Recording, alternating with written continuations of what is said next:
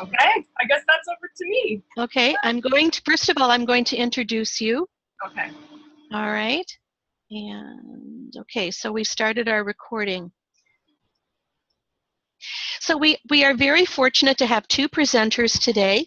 They're both on the Editors Canada Certification Steering Committee. We have Anne Brennan, who's a certified professional editor. She's based in Vancouver, and she specializes in educational, technical, and corporate materials. She also with her in Toronto is Jeanne McKane, who is an edit, freelance editor specializing in healthcare and medical editing.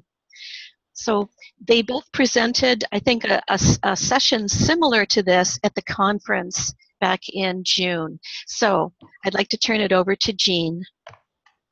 Thanks, Trish. Uh, and it's great to be here with everybody. Uh, Anne and I really like talking about certification, so we're very excited that there are a bunch of you who want to listen. So that's just great.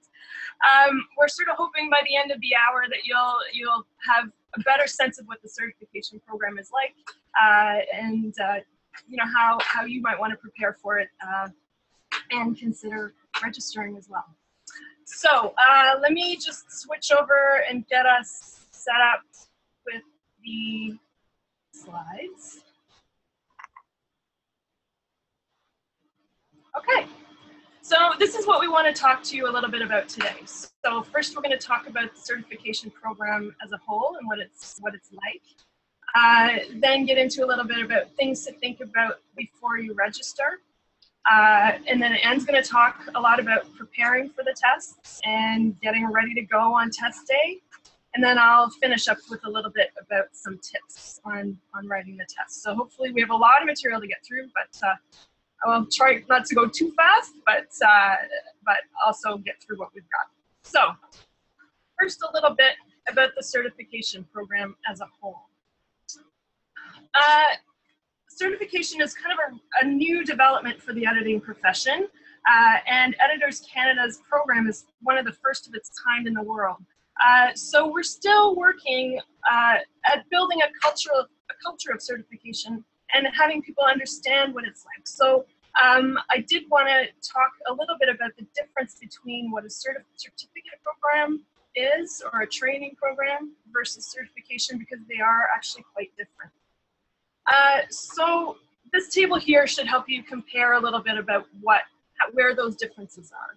If you take a certificate in, in editing. Um, what that does is demonstrate that you've had education in a particular field and indicates that you've completed a set course or series of courses with a specific focus. Um, getting your certificate involves completing the program requirements and a certificate comes from an educational institution.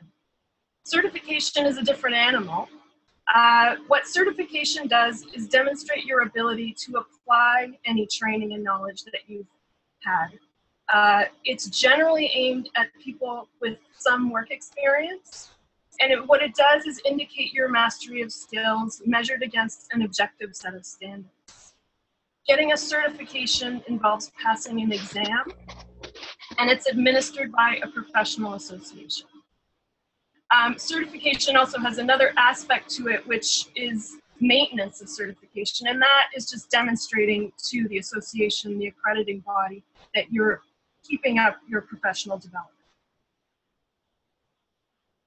So about our program, Editors Canada started talking about certification a long time ago, around the 1980s uh, and began developing the program in the late 90s and launched it in 2006. So this year actually is our 10th anniversary, which is really exciting. Uh, certification credentials give editors some official recognition of their skills and their knowledge. Uh, and it's aimed at editors of written material who work in English. The program is open to Editors Canada members and non-members. And as we mentioned in the last slides, to earn a credential, you need to pass a test. So some things to think about before you consider registering. First of all, why should you certify? Uh, and that is a question that people need to answer for themselves because it's a very personal one. Uh, and there are a thousand reasons to do it, and um, they all depend on your career goals and um, and your work experience and all kinds of factors that play into it. So it could be that you want to prove your excellence and your skills to yourself. Uh, it could be that you want to demonstrate your skills and abilities to your peers or to clients or employers. Uh, you might want to use it as a way to uh, work um, for professional development and identify some strengths and some gaps in your knowledge. Uh, you might want to see it as a way to set yourself apart from the competition, kind of as a marketing tool. Um, a credential is also something that attests to your professionalism, so uh, that may be a reason for you to certify. Um, beyond personal reasons, uh, there's also the idea that certification is a way of promoting and maintaining high standards of editing for the profession as a whole, um, which is also a really good reason to consider certification. Um, I see there's a question. In our, in, so the question is, in your experience, what roughly what percentage of jobs and contracts are available only to certified editors in Canada? So I'm going to answer that live. Um, I would say I, I, don't think there are many that are available only to certified editors at this point. Um, certification isn't mandatory. Uh, and and we're, as I say, we're still building a culture of certification in, in editing. Um, we are tracking lots of clients who put it as kind of a, a preference on their job ads, and, and there are certainly people who are, who are saying putting having it as a desired um, skill or a, a desired credential, but none of it is, is mandatory. I will add though that we have at least one member that I know of who got a promotion at work because she has certification, because she uh, was, I guess, promoted to a managing editor position that they had, the company had decided could only go to somebody who was a certified professional editor. So it does happen, but as Jeanne says, this is just the beginning, and so we don't see the requirement often, but it's really an advantage. And the more people who certify and the more people who talk about it, the more clients and employers who know. So yeah. yeah. Okay. Um, another thing to think about if you live outside of Canada is that anyone's welcome to take our certification tests. Uh, the benefits are recognized around the world by other editorial organizations like uh, the SFEP and ACES. Um, but you do need to travel to one of the Canadian cities where the tests are offered in order to take it. So that needs to be taken into account. Um, the other thing to think about if you're from outside of Canada is that the program's designed to test the skills of editors working in Canada. So most of the standards are common to editorial, practices around the world, but the tests themselves may have a little bit of Canadian content. So just to be aware of that and include that in your preparation. Um, you don't need to be a member of Editors Canada, as we said, but uh, members do pay lower fees. So back at the beginning, we talked about how certification programs are based in objective sets of standards. And for our program, those are Editors Canada's professional editorial standards. Um, this is a document that's been around for a while and they've been based on years and years of research and review.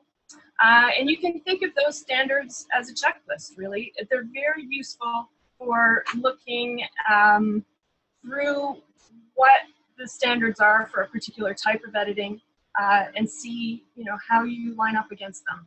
So here's a question. Let's see. I think we're okay, but thanks. Um, so, uh, to get back to the standards, they, yeah, what they do is outline the knowledge and skills that editors need to have to edit at a minimum professional level with, with very little supervision. So people working quite independently. And they apply to editing in all print media. Also online media. The point is that it's words that are written down. It yes. doesn't just mean words on paper.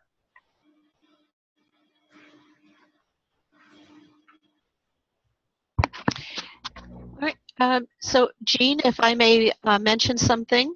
Yes. Uh, uh, to uh, please stay closer to your microphone. You're cutting out a little bit. Okay. My microphones are in my headphones. My best.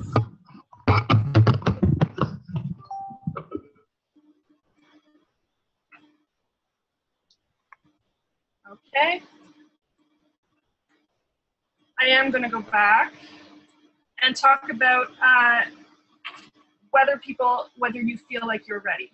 So um, there aren't any formal prerequisites.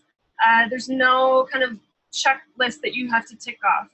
Uh, but these are not entry level exams, so we strongly recommend that you have about five years experience before you attempt the test, just so that it's not a discouraging experience. That doesn't mean that you have to have kind of five years working in a book publishing house, uh, but take a look at your own experience, your own background, uh, and its breadth of um, topics, breadth of medium, um, where you've worked, and see how you feel and whether you feel you're at a point where you've gathered enough experience to meet all the standards that we've talked about. So uh, the certification exams are developed based on professional editorial standards uh, and they're developed to test them specifically. So it's very important to become familiar with them and know how you measure up against them. And you can download those at editors.ca for free to have a look.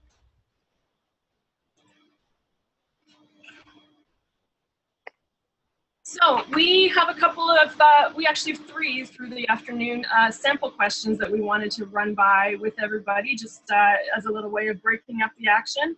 Um, so we have them set up as polls, uh, but we had a little bit of a technical difficulty with the first one. So I'm just going to uh, sort of run through this as a slide, uh, and I'll talk you through it. And when we get to the next poll question, you'll be able to actually vote and put in your answer. So the sample question we had for this was, for which of the following is permission for use definitely not required? A half-page excerpt from a paper in an online journal, a three-line poem quoted in its entirety, 10 lines from a 20-line poem quoted in a book review, or two verses of a popular song recorded in the last two years quoted in a resource guide. So that's a typical question that you might find in the first section of the, uh, uh, of the exam. And the answer to that one is C. So the tests, what do they look like? They build on the uh, professional editorial standards. So there are four tests uh, based in the, the different sections of the standards. There's one for structural editing, one for stylistic, one for copy editing, one for proofreading. You can be certified in one of these or more of those. It's your choice. Uh, if you are certified in one, you become a certified whatever, certified copy editor or certified proofreader. To get the full designation certified professional editor or CPE, you need to pass all four of the tests. All tests are the same format. They're three hour open book exams.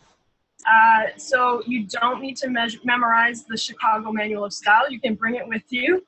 Uh, you can bring a dictionary, you need to bring a dictionary, editing Canadian English, and up to three style guides. Uh, and you'll get a list of approved resources after you register. The test format, um, the first section, part A, consists of short answer and multiple choice questions. Uh, and they test your knowledge in the fundamentals of editing, which is section A of the standards, and also in whatever section of the standards the subject of the exam is as well. And that part A is worth about a third of the marks. Part B, which is a, the bulk of the exam, two thirds of the marks, is a scenario and an editing test passage. Uh, so that involves, right now, hard copy markup and may include other tasks such as writing a letter to authors or making up a style sheet. Uh, starting in 2017, the hard copy markup will be turned, will be moving over to computerized testing instead. But for this year, um, it's still on paper in hard copy. Except for proofreading. Proofreading will remain on paper for the foreseeable future because at this point, there's no set standard as to how people proofread. Yeah. What technology they use. I need to take a break for some questions. There's many questions. Uh, is there a timeline limit for taking all four exams to receive the full certification? Uh, Anne, can you answer that? No, there used to be when the when they were first um, uh, introducing. In fact, I think the first couple of years that the program was running, there was a limit of 10 years. But um, that's been changed. In 2009, the standards that the tests are based on were changed, and a number of other things were changed as well at that time. So no, there is no limit now. There you go. Okay. And Diana's asking, is certification lifelong or does you do you need to get recertified after a number of years when standards evolve? Uh, I'm going to answer that one live. That they its certification is lifelong, but there is maintenance of certification component. So you get your certification and you keep it forever as long as you maintain it, and that involves um, getting a certain number of professional development points over a five year period and submitting a portfolio just to show that you've done that. But it's a fairly simple process and it doesn't take much to add up the points that you need. So um, as long as you maintain it, then your certification is lifelong. If you let it lapse and you want it back, then you have to take the test again. Yeah. Okay. Uh, so that one's answered. And there we go. Uh, the other question from Jody is your earlier slide mentioned credential maintenance. Can you elaborate on that? So um, there we go.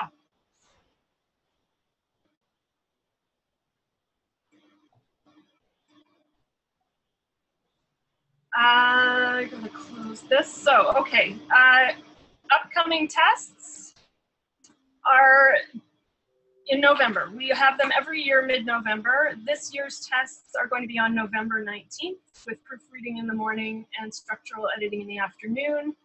Uh, it's always around the same time in November each year. Next year's tests will be copy editing and stylistic editing. And we offer the tests in a number of different cities across Canada, uh, demand and resources permitting. So we do ask you to uh, give us a couple of your top choices for locations, just in case there's not enough registration in one particular area. Registration opens in July, so registration for this year has been going for a while. Uh, it's still open until the end of October. I think the 29th, is that right, Anne? It's either the 29th or the 23rd. Something like that. But, but it's, uh, it's, it's marked, it's on our website is what the closing date is. Yeah, so still open, chance is still up.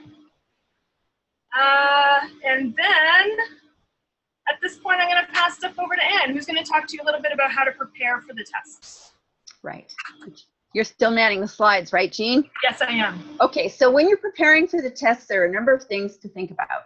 You need to have study materials first and foremost. Um, the best thing to do is sit down with the standards. As we said, they are available for free download at editors.ca. They're called professional editorial standards and do an in-depth review of those and figure out um, how good you are at applying each of those standards. If you're going to be taking the proofreading test, for example, which is offered this year, you would mostly be focusing on part A of the standards, which is the fundamentals of editing, which are common to all types of editing, and part, I think it's part B, which is the proofreading standards, okay? if you're going to be taking the copy editing test, then you're going to be looking mostly at part A, the fundamentals, and part C, copy editing. Um, B and C I might have wrong because I'm not looking at it right now, but it's the, the standards are divided into five sections, the fundamentals, and then each of the four edit or four areas. Um, the two best materials, or the other best materials besides professional editorial standards, is the certification study guide. The study guide contains an example of a test. It, um, it may or may not be um, questions that have actually appeared on tests, but they're very similar to questions that have appeared on tests. And one of the best things to do is take the test. It's timed, it's three hours, just as you would in real life. Sit down, take the test, mark the test, and then find out where you did well and where you didn't and where you didn't, that's when you want to start brushing up on individual skill sets. Jeanne, could you advance the slide? Thank you. Um, as I said, you want to look at the professional editorial standards to figure out which ones you need to learn and which ones you need to practice. For example, if you're confident in your copy editing abilities and you're taking the copy editing exam, you need to make sure that, oh, it's part D. Copy editing is part D. Um, that you meet act, uh, the correctness. I'm sorry, I'm not thinking very clearly. Trying to talk to you and read these slides at the same time is more challenging than I expected it would be. Um, Jeanne, just move the slide. Oh, okay. We want to make sure that you that in, in, professional editorial standards that you know the differences between Canadian, American, and British style. For example, this is an example of where if you're taking the exam outside of the country, you don't have to be able to edit in all those areas, but you have to at least be familiar with what the differences are.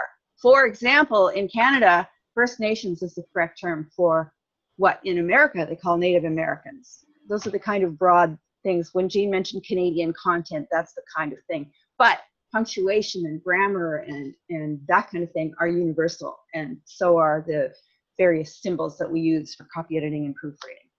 And I'm just going to interrupt because we have a question from Jean. Oh, Armstrong, thank which, you. I can't see that very well. Yeah, that's okay. I can in the questions. Uh, okay. Uh, and it's that is Professional Editorial Standards 2009 the most current version? Uh, and the answer is that as of today, yes. Uh, but there's actually a, a, revised version that's being voted on tomorrow. And assuming that it gets uh, assuming it gets passed, then there will be a 2016 version, but we're just waiting to see that. Uh, the 2009 version um, are the ones that apply to this year's tests. So they're based in the 2009 version. Next year's uh, tests will be based on the new ones, assuming they pass. Uh, and we had one other question. If you want to take all four tests, four tests of three hours each is 12 hours of testing. Are they spread over several days? Um, I'll answer that one here, which is that we only offer two tests each year, uh, and both are offered on the same day, one in the morning and one in the afternoon. But we do have experience that tells us that people who just take one test each year are more likely to pass than people who take two tests in one year. That doesn't mean you can't. I took three tests one year, the very first year that it was offered, and I did pass them all. But the next year I took just one test and I failed it. So um, everyone's experience uh, varies. Your mileage may vary. Yes. Uh, one more quick question and then we'll keep moving on. Uh, Michael's asking, will there be updated study guides to match the updated standards? And the answer to that is yes. We're working on them now and the new study guides for next year's test should be out and about next spring. And even when they are, this year's study guides, the ones we've been using since 2009, are still valuable for studying. Absolutely. Even though the, the uh, standards may change, and they're, I can tell you that they're not changing very much. They're only changing a small amount this time, um, if they're approved tomorrow. So the old study guides are still very useful. Okay, so we should keep moving. Okay. Uh, study, oh, did I skip something?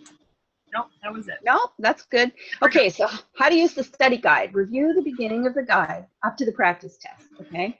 And then sit down with a timer and write the practice test within the allotted time. It's important to time yourself so that you know that you can complete the actual test within the time limit. One of the problems I had when I did fail a test was because um, the test was handwritten. I was used to working on computer. I hadn't practiced handwriting fast or or editing fast like that. So what I practiced for the next time was speed, getting up to speed. Compare your answers and the markup to the answer key, review the sample responses, and the study guide includes a, a sample of a passing test and a sample of a test that fails so that you can see what the differences are and figure out what you're good at. And then later in the study period, once you've worked on some of these areas that you identified as being weak, then you can redo the practice test and see how you do. Great. Uh, there are other study materials and resources you can use. We have a, a, publication, a set of publications called Meeting Professional Editorial Standards. It's a four volume set. It's mostly self-tests and it covers the four competency areas. So you can work through the uh, exercises in those and compare your answers and markup to the samples that are provided. They contain answer keys. And yes, again, later in your study period, redo the exercises. It helps if you're working with a study group because you can motivate one another with this kind of thing. So Jane, if you want to move the slide, please. Oh, Jeanne's frozen. Jeanne, can you please move the slide? It looks like we're having a little bit of technical difficulty right now. This is the first time this has happened. Okay, somebody said that they're looking, Jody is looking for a proofreading study group in Ottawa and wants to know if there are any takers. So if there's anyone out here in the Ottawa, Ottawa area who would like to get involved, um, please send an email to Editors Canada and um, and and say that that's what you'd like to do, or in any of the areas, and we will try to match you up. Okay, I've lost audio as well. Jessica Gill has asked, will the four volume set also be revised as part of the second revision?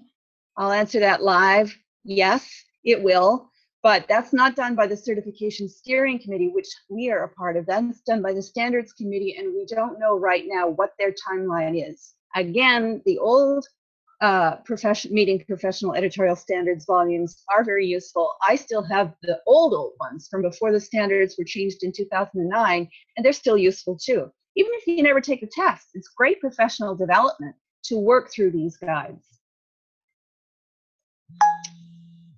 Nina says, where does substantive editing fit into EX? Four categories, and what does it include? Again, I'll answer live. Substantive editing is a catch-all term. Um, the, the terminology depend, varies not only from country to country, but from company to company and who you're talking to. Substantive editing is what we generally think of as structural editing. It's how a manuscript is organized. Um, it also could include a bit of stylistic editing. When we first started running these tests, structural and stylistic editing were offered together as one test, and now they've been separated out. But substantive seems to cover both of those areas, but mostly structural.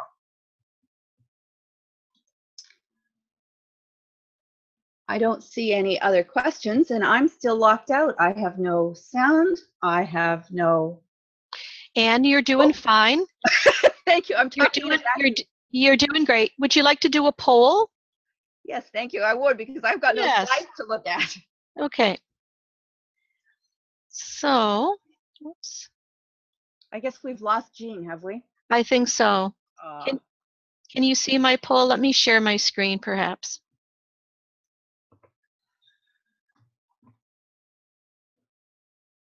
if I could reduce my screen, I'd be able to pull up those same slides because I know how to get to them. All right, so this would be poll number two. Okay, thank you. The poll is when setting a schedule for a publication, this is a sample question that you might see on a test, the kind of question you might see on a test or in a study guide. When setting a schedule for a publication, you must remember that copy editing occurs before proofreading. Copy editing is less important than proofreading. Copy editing occurs after proofreading, or copy editing and proofreading take the same amount of time. Okay, so we'll ask you uh, to answer this. So far, most of the questions we've seen are multiple choice. There are also true and answer questions. There's matching questions. There's short answer questions. In this case, uh, copy editing occurs let, after. everyone gets to vote. Oh, Anne. I'm so sorry. So if everyone would like to make their choice, does everyone see the poll? So please click on the radio button for your answer. Okay.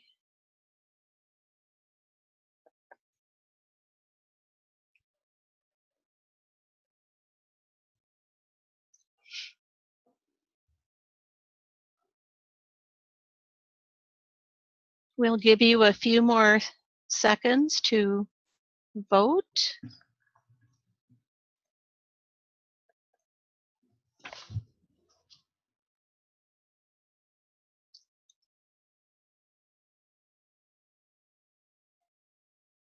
All right, we have a few more people who are still casting their vote.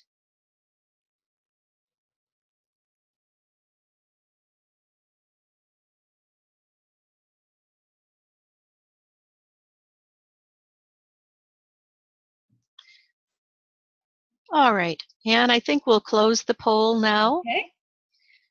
All right. So, So I see most people chose answer C, copy editing occurs before proofreading, and that is the correct answer. yeah.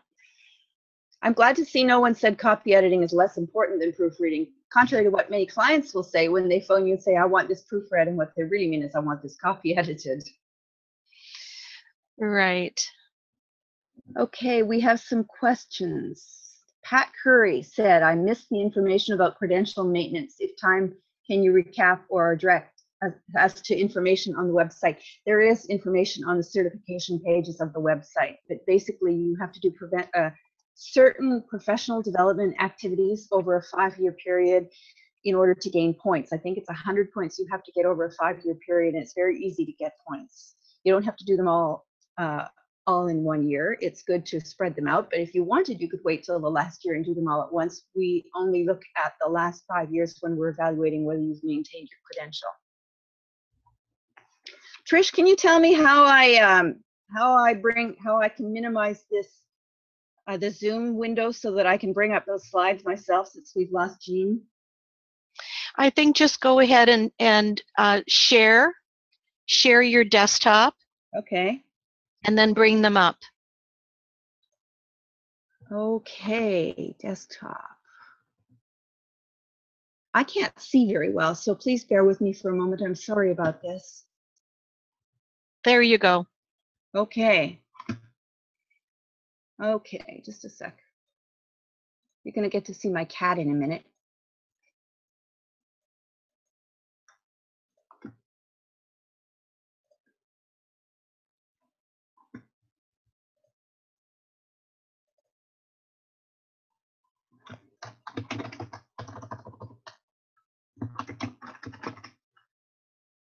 I'm sorry, I have to download them from my server. So everybody gets to see my server.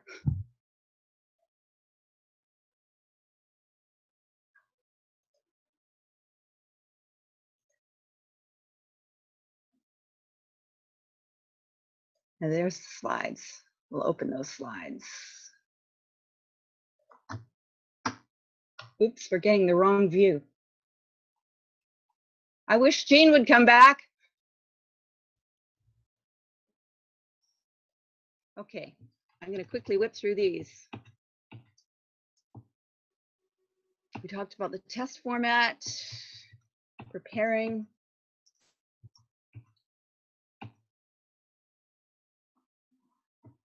Okay.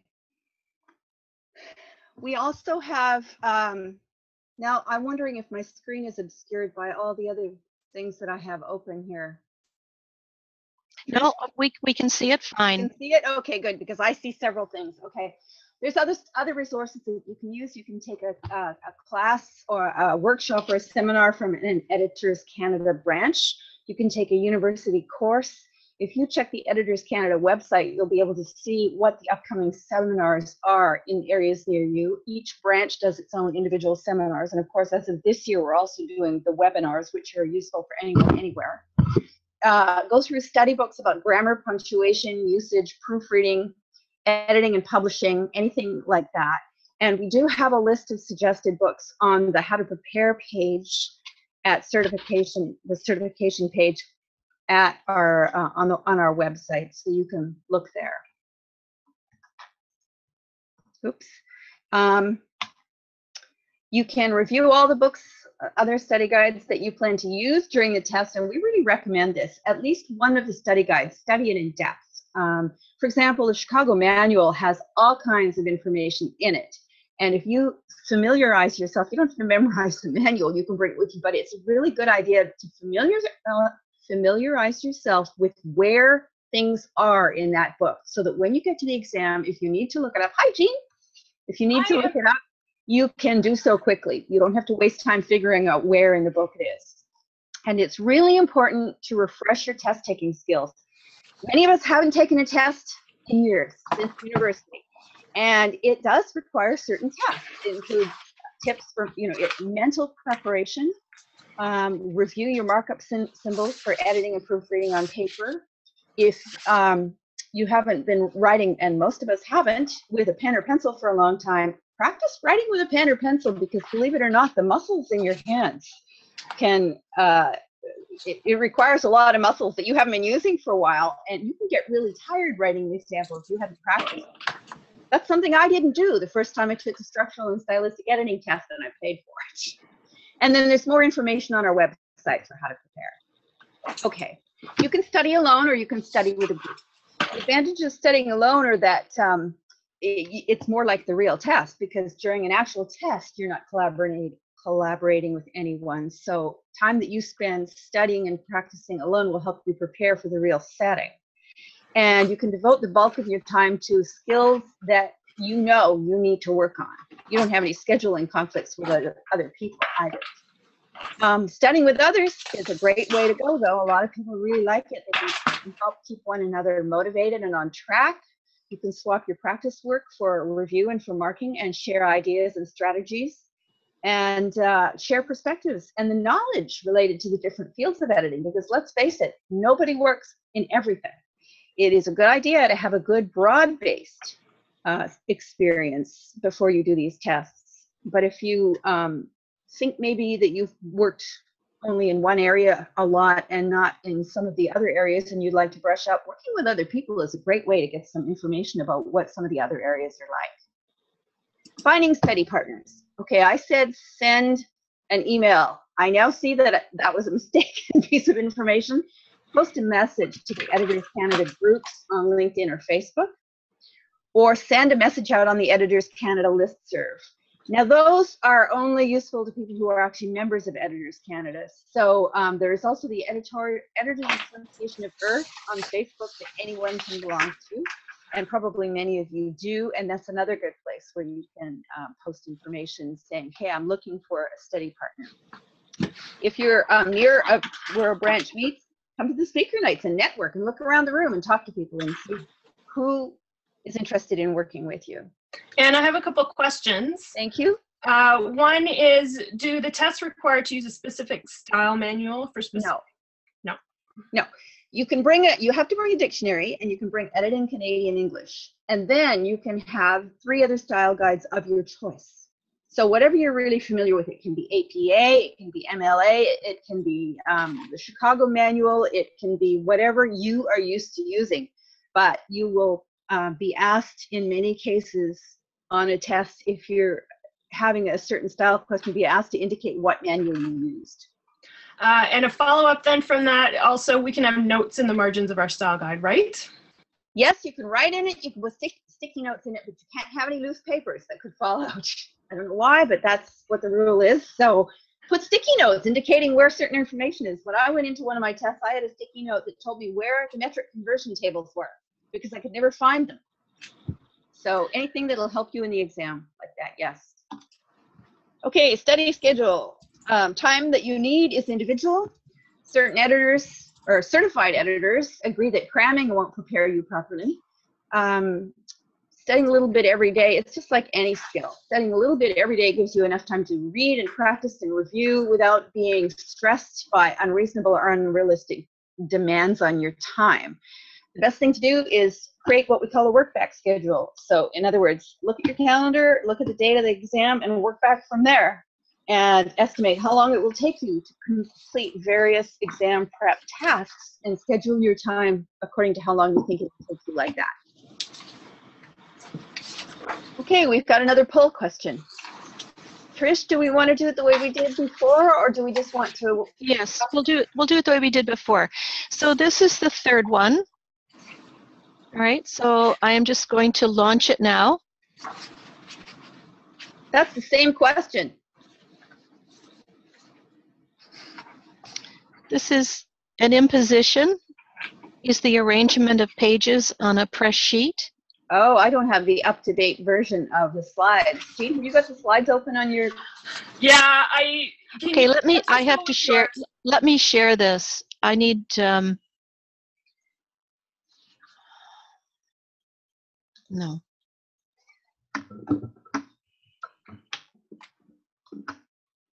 I'm sorry, we're having a little trouble for the moment. Okay, so now we should be in with the poll. Thank you.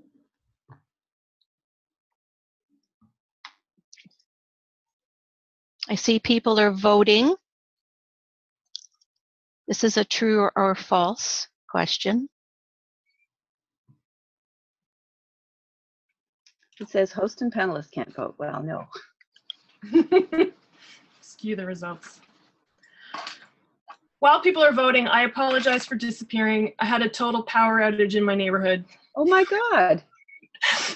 So, uh, yeah, I found it. but uh, of all the times for that to happen,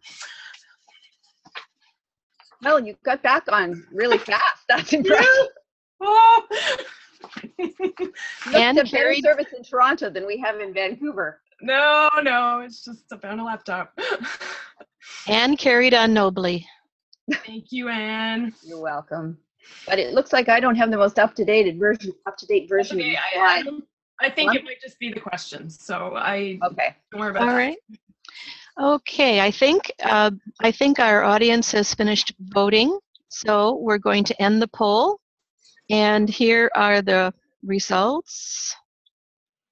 An imposition is the arrangement of pages on a press sheet as they will be in the proper, or so they will be in the proper order when the sheet is folded after printing, and the answer is true.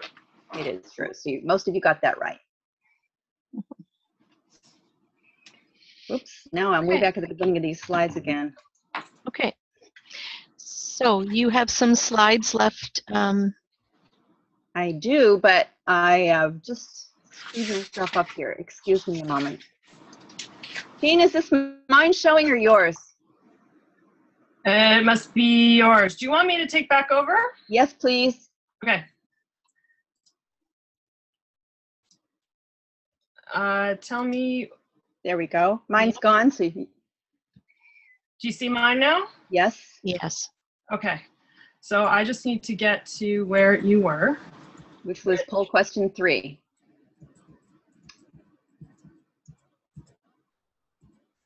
We haven't got that far yet. I went too far. There. We Oh, too far. We do have about, uh, it's about 10 minutes to three, so Okay, just, we so we need to hurry through the rest. Yeah. Yep, okay, we did that. Next slide. Okay. Whoa. okay, something's crazy, but where were you? I just finished poll test.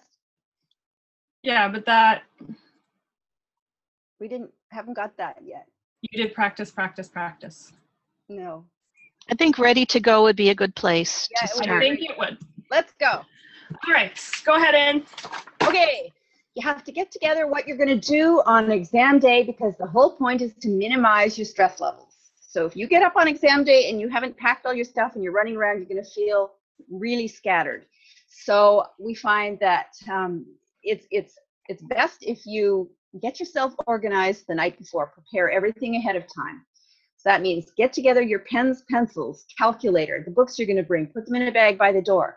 Um, if you are worried about finding the venue, leave lots of travel time, or you can even do a dry run the day before, especially if it's somewhere you've never been before. If you have exam anxiety, and a lot of us do, you can try relaxation and breathing techniques to help you keep calm.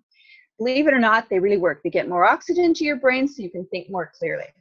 Okay, when you're packing your bags, you know, you're going to take things like we said, like the pens, pencils, all of that, but you'll also need a pica ruler, uh, if you have one, a magnifying glass if you have trouble seeing, earplugs if you're bothered by noise, whatever you need to be comfortable.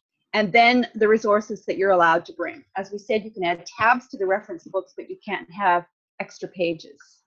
And if there's something else that you want to bring that you're not sure whether are allowed, contact the Editors Canada office at least 15 days ahead of time, please. And we have a few questions that um, I think would be good to answer for everybody. So, Okay. um, if someone has the digital versions of Editing Canadian English in Chicago, can they bring those? The answer to that would be No, because we haven't, we have no internet access. We're not using computers at this time.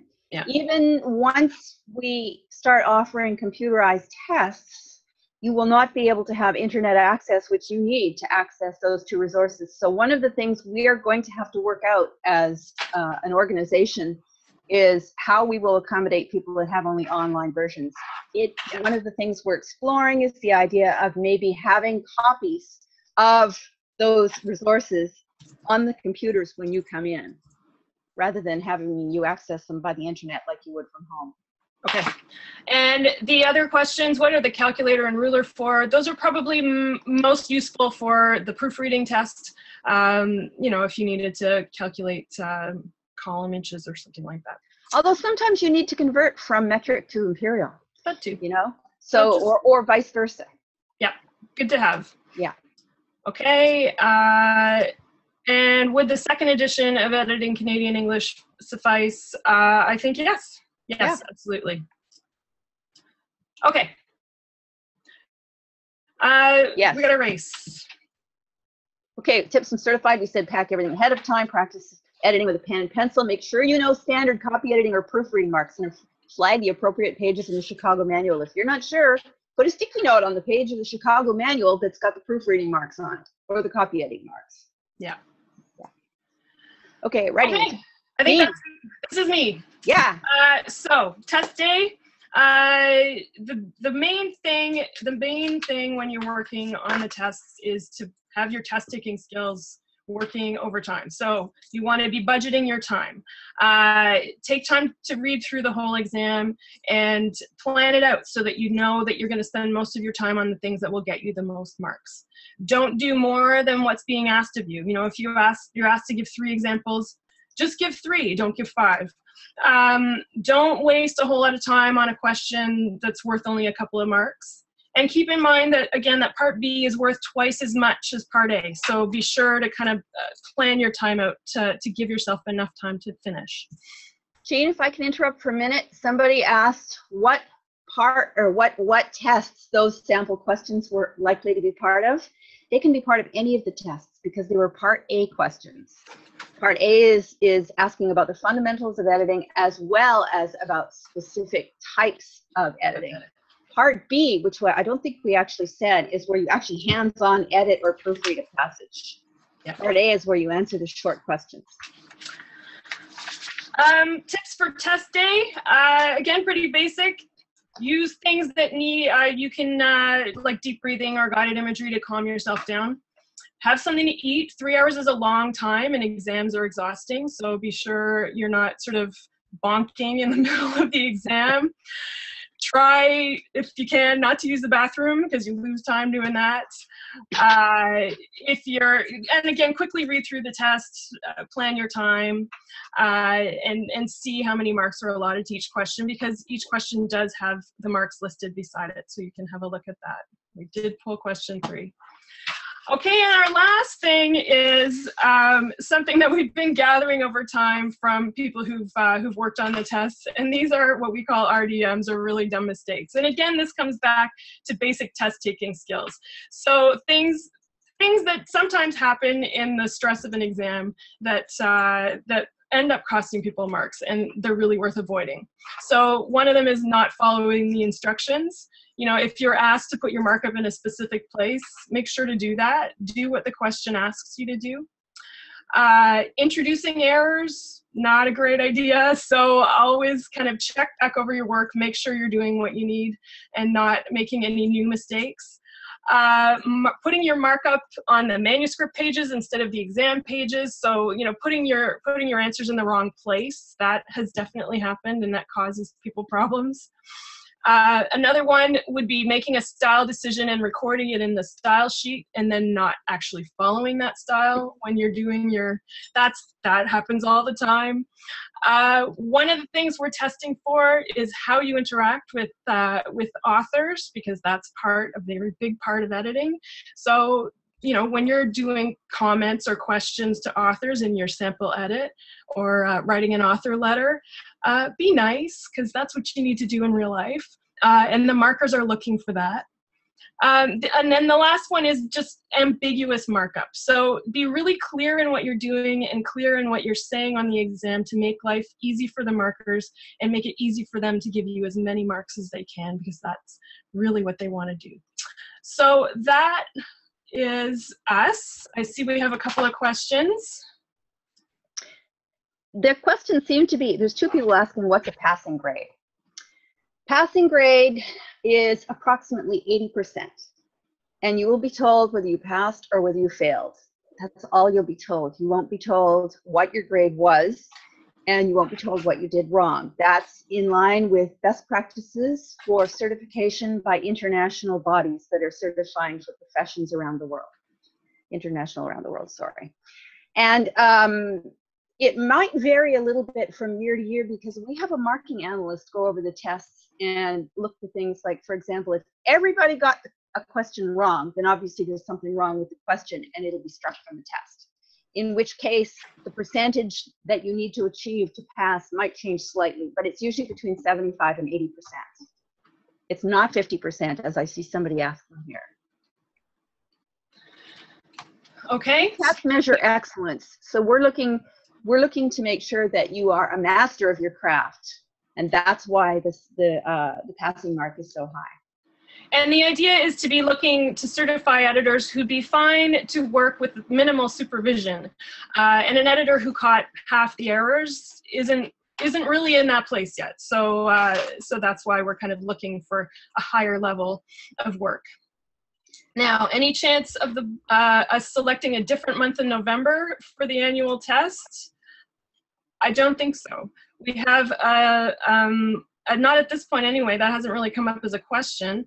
We um, we have uh, it takes about a year to develop a test, so uh, you know we have a, a, process mapped out and uh, and it works very well. And um, so I think November is generally it. Um, ladies, there's a question in the chat box. Somebody wants us to go back to the information on practice. Is that the question? No. Um, is there any allowance for people with disabilities? That does, oh. that does not impact practical editing, but does impact test taking, such as the need for uh, a bathroom break or difficulty yeah. printing, etc. We've not really had anything come up in the way of um, uh, visual impairment or things like that. But yes, we have accommodated diabetic people who need to eat during the, the test, for example. And um, they have to let the office know ahead of time what their difficulty is and what accommodation they need. And then we look at it on a case by case basis. And if we can accommodate you, we'll do our best to do it. And you're going back to the part on info on practice? Oh, somebody wants to go back to that? Uh, can you go back to the info on practice? I'm not sure which slide that is. I will look. I'm just, someone asked also for two slides back, so I was doing that. Oh, really doesn't want me to move. So info on practice. Yeah, the one that said practice, practice, practice. It's long after that. I know It's going backwards. Somebody wanted to see uh, these slides. Are these? We're making these slides available, aren't we? And also uh, a recording of this session for anybody who wants to see it afterwards. There you are. Back up one. There. Okay, the scenario on the test passage being worth two thirds of the mark. That's part B that we mentioned, where you actually have to edit something or proofread something. And then the first section is um, general knowledge about both the fundamentals of editing and also about the area. Somebody asked about what order, uh, what those those poll questions were. The question that asked about whether copy editing comes before or after proofreading and so on. That's a general question. The question about imposition, that's a general question as well. It's basically understanding how the printing process works. Somebody wanted to look at these, I guess, hey? We have two more. Um, Editors Canada switching to computerized testing in 2017. When do you think the specifics will be available about that? Different computer setup, software, hardware.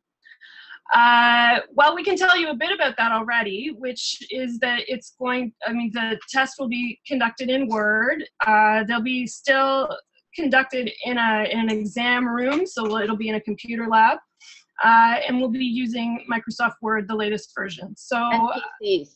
Hmm? And, PC. and PCs. So if you aren't used to using a PC, you do need to practice. We tried to find labs where we could have both PCs and Macs across the country, and they really don't exist. Not very many of them anyway. So we decided that we have to go with platform that most people are using. Yeah. Okay, so we did that one. Uh, can we repeat the passing grade? Yes, it's about 80%, between 75 and 80%, depending on the test. Um, but it's not lower than that. Okay. And that, I think that's all the questions we've got. Okay, that's great. Good. Thank you so much, everyone. I apologize for dropping out and having a power outage in the middle of our webinar. How ridiculous.